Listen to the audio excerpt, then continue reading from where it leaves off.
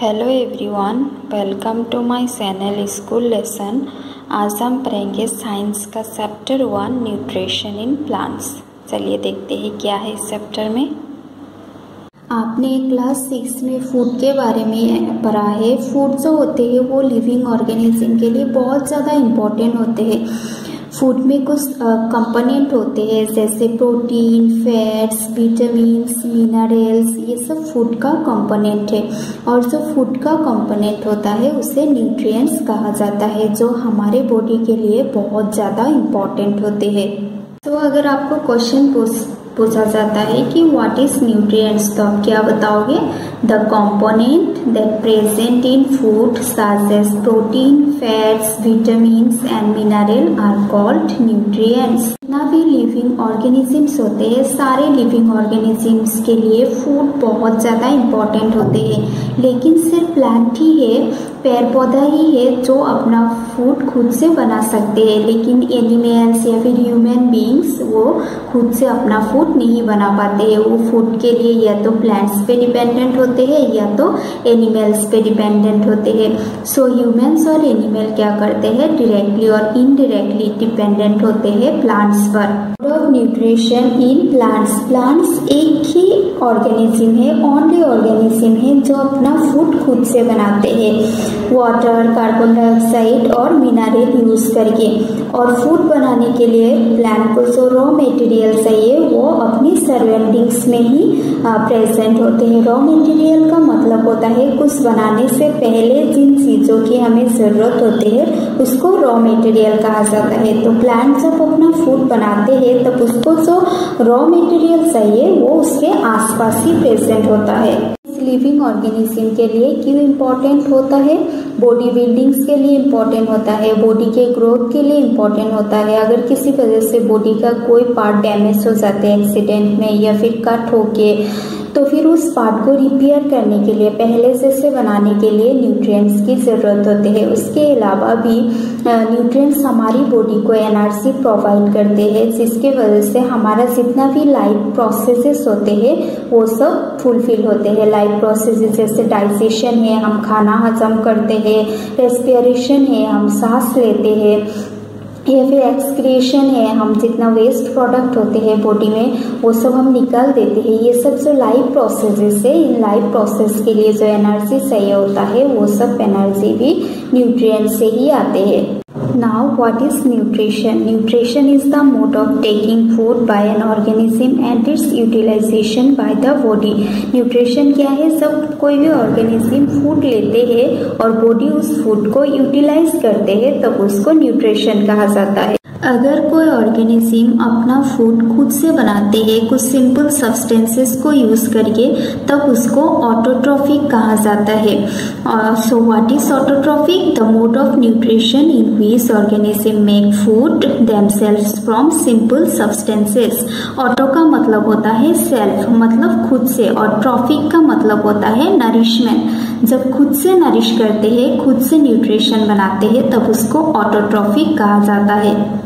Therefore, plants are called autotrophs. Plants को क्यों autotrophs कहा जाता है प्लांट्स अपने सराउंडिंग से रॉ मटेरियल लेके अपना फ़ूड खुद से बनाते हैं सेल्फ नरिशमेंट करते हैं इसीलिए प्लांट को ऑटोट्रॉप्स कहा जाता है और जो एनिमल्स होते हैं या फिर मोस्ट ऑफ़ अदर ऑर्गेनिजम्स होते हैं वो जो अपना फूट है, वो प्लांट से लेते हैं। इसीलिए इसको हेटेरोट्रॉप्स कहा जाता है। हेटेरोस का मतलब होता है आधार ट्रॉप्स का मतलब एक ही होता है नारिशमेंट जब कोई आधार नरिश करते हैं फूट और वो फूट हम लेते हैं, तब उसको कहा जाता है हेटेरोट्रॉप्स अभी जो है आपके मन में बहुत सारे सवाल उठ रहे होंगे कि ये जो फ़ूड फैक्ट्रीज होते हैं प्लांट का, वो कहाँ पे होते हैं? प्लांट की ऑल पार्ट्स में फ़ूड बनता है या फिर कुछ सर्टीन पार्ट्स में ही बनते हैं? प्लांट्स अपने आसपास अपने सराउंडिंग से रॉ मटेरियल कैसे लेते हैं, कैसे ऑप्टेन करते हैं?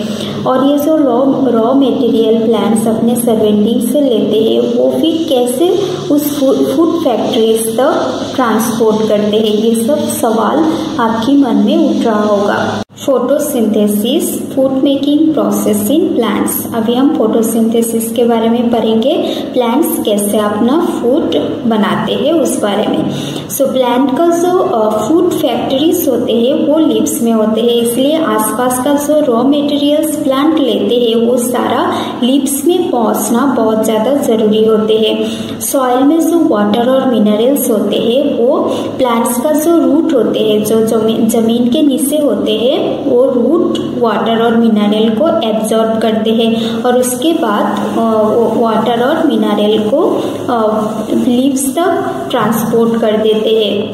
और प्लांट जो कार्बन डाइऑक्साइड एब्जॉर्ब करते हैं एटमॉस्फेयर से, वो एब्जॉर्ब होता है।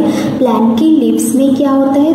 छोटा छोटा पोर्स होते हैं, छेद होते हैं। उस पोर्स में से प्लांट कार्बन डाइऑक्साइड एब्जॉर्ब करते हैं। सारे जो पोर्स से वो गर्ड सेल से सर्वेंडेड होता है गार्ड सेल से कवर्ड होता है और ऐसे पोर्स को कहा जाता है स्टोमेटा प्लांट्स के लिप्स में जो सेद होते हैं, छोटा छोटा, जिसके ज़रिए प्लांट्स कार्बन डाइऑक्साइड एब्जॉर्ब करते हैं, उसको क्या कहा जाता है? Stomata what is guard cell guard cell are cells surrounding इस stomata they help to regulate the rate of transportation by opening और क्लोजिंग द स्टोमेटा क्या है? गार्ड सेल हम जानते हैं कि स्टोमाटा की सराउंडिंग्स में रहते हैं। रह के क्या करते हैं? जो ट्रांसपोर्टेशन का रेट है, वो रेगुलेट करते हैं ताकि कम ज़्यादा ना हो।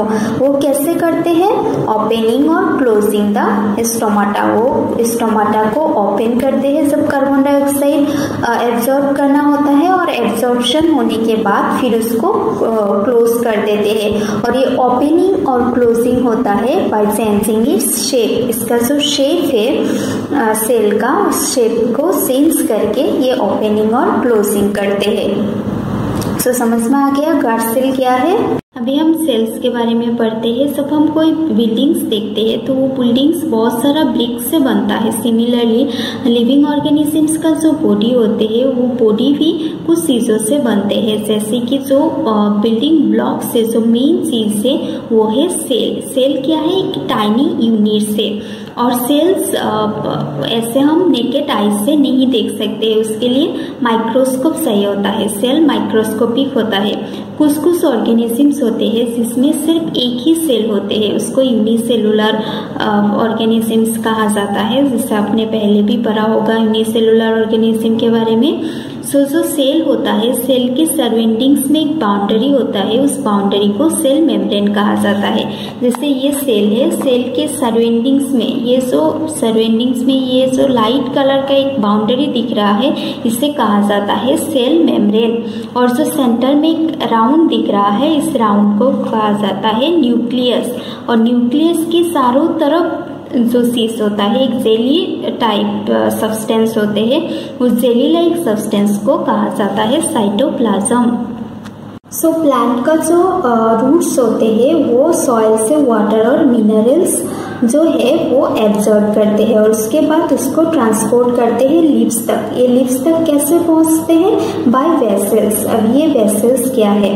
वेसल्स एक पाइप की तरफ़ कुछ है जो क्या होता है प्लांट्स के almost all the parts like root stem और ब्रांचेस लीव्स इन सब में रहते हैं। और ये क्या करते हैं? कंटिन्यूस पाथ फॉर्म करते हैं थ्रू आउट द प्लांट और इसके ज़रिए जो न्यूट्रिएंट्स होता है वो लीफ तक पहुँच जाते हैं, क्योंकि लीफ जो है वो फ़ूड फैक्ट्री है। सारा इंग्रेडिएंट्स लीव्स में पहुँचना बहुत ज़रूरी होता है और लीव्स में पहुँचाने के लिए जो चीज़ हेल्प करते हैं, उसे कहा जाता है वेसल्स जो प्लांट्स का ट्रांसपोर्ट सिस्टम है मेटेरियल जो प्लांट्स में ट्रांसपोर्ट होते हैं, उस बारे में आप चैप्टर इलेवन में डिटेल्स में पढ़ पाओगे।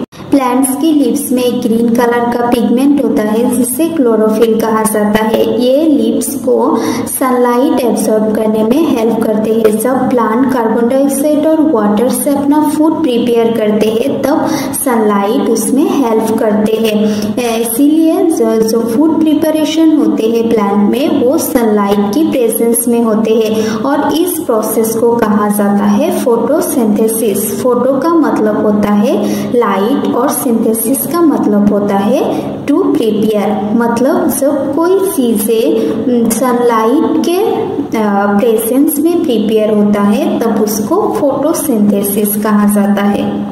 सो ये जो फोटोसिंथेसिस प्रोसेस है इसको कंप्लीट करने के लिए ज़रूरी होता है क्लोरोफिल सनलाइट कार्बन डाइऑक्साइड और वाटर की।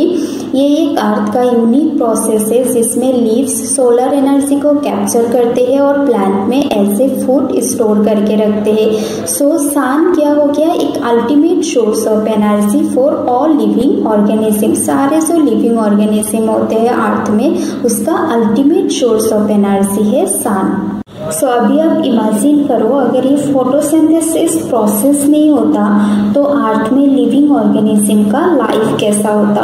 अगर फोटोसिंथेसिस नहीं होगा तो कोई खाना ही नहीं बनेगा फ़ूड ही नहीं बनेगा। सो so, जो लिविंग ऑर्गेनिज्म होते हैं वो डायरेक्टली और इनडायरेक्टली अपने सर्वाइवल के लिए जो फ़ूड की ज़रूरत होते हैं उसके लिए डिपेंड करते हैं जो प्लांट फ़ूड बनाया होता है उसके ऊपर। फ़ूड के अलावा ये जो फोटोसिंथेसिस प्रोसेस है ये ऑक्सीजन भी रिलीज़ करते हैं। फोटोसिंथेसिस प्रोसेस के दौरान ऑक्सीजन रिलीज़ होता है, जो लिविंग ऑर्गेनिज्म के लिए बहुत ज़्यादा इम्पोर्टेंट होता है। फोटोसिंथेसिस के एब्सेंस में अर्थ में लिविंग ऑर्गेनिज्म का लाइफ इम्पॉसिबल होगा क्योंकि ऑक्सीजन भी रिलीज़ नहीं होगा और फ़ूड भी रिलीज़ नहीं होगा। दोनों लिविंग ऑर्गेनिज्म के लिए बहुत ज़्यादा इम्पोर्टेंट होता है। फोटोसिंथेसिस प्रोसेस के दौरान जो क्लोरोफिल वाला लीव्स होते हैं, वो सनलाइट के प्रेजेंस में कार्बन डाइऑक्साइड और वाटर यूज़ करके कार्बोहाइड्रेट प्रिपेयर करते हैं। कार्बोहाइड्रेट क्या है? न्यूट्रिएंट्स से। एक फ़ूड का कंपोनेंट है और इस प्रोसेस को can be represented in an equation आपने क्लास सिक्स में फ़ूड के बारे में पढ़ा है। फ़ूड जो होते हैं, वो लिविंग ऑर्गेनिज्म के लिए बहुत ज़्यादा इम्पोर्टेंट होते हैं। फ़ूड में कुछ कंपोनेंट होते हैं, जैसे प्रोटीन फैट्स विटामिन्स मिनरल्स ये सब फ़ूड का कंपोनेंट है। और जो फ़ूड का कंपोनेंट होता है, उसे न्यूट्रिएंट्स कहा जाता है, जो हमारे बॉडी के लिए बहुत ज़्यादा इम्पोर्टेंट होते हैं। तो अगर आपको क्वेश्चन पूछा जाता है कि व्हाट इज़ न्यूट्रिएंट्स तो आप क्या बताओगे? The component that present in food as protein fats vitamins and mineral are called nutrients जितना भी लिविंग ऑर्गेनिजम्स होते हैं, सारे लिविंग ऑर्गेनिजम्स के लिए फ़ूड बहुत ज़्यादा इम्पोर्टेंट होते हैं। लेकिन सिर्फ़ प्लांट ही है पेड़ पौधा ही है जो अपना फ़ूड खुद से बना सकते हैं। लेकिन एनिमल्स या फिर ह्यूमन बींग्स वो खुद से अपना फ़ूड नहीं बना पाते हैं। वो फ़ूड के लिए या तो प्लांट्स पे डिपेंडेंट होते हैं या तो एनिमल्स पे डिपेंडेंट होते हैं। सो ह्यूमंस और एनिमल क्या करते हैं? डायरेक्टली और इनडायरेक्टली डिपेंडेंट होते हैं प्लांट्स पर। न्यूट्रिशन इन प्लांट्स प्लांट्स एक ही ऑर्गेनिज्म है ओनली ऑर्गेनिज्म है से बनाते हैं। वाटर कार्बन डाइऑक्साइड और मिनरल यूज़ करके और फ़ूड बनाने के लिए प्लांट को जो रॉ मटेरियल चाहिए, वो अपनी सराउंडिंग्स में ही प्रेजेंट होते हैं। रॉ मटेरियल का मतलब होता है कुछ बनाने से पहले जिन चीज़ों की हमें ज़रूरत होती है, उसको रॉ मटेरियल कहा जाता है। तो प्लांट जब अपना फ़ूड बनाते हैं, तब उसको जो रॉ मटेरियल चाहिए, वो उसके आसपास ही प्रेजेंट होता है। प्रोसेस में ऑक्सीजन रिलीज़ होते हैं। जो प्लांट के लीव्स में स्टार्स होते हैं स्टार्स की प्रेजेंस ये इंडिकेट करते हैं कि फोटोसिंथेसिस प्रोसेस ऑकर हुआ है। स्टार्स भी एक टाइप का कार्बोहाइड्रेट होते हैं। If you like my video please subscribe my channel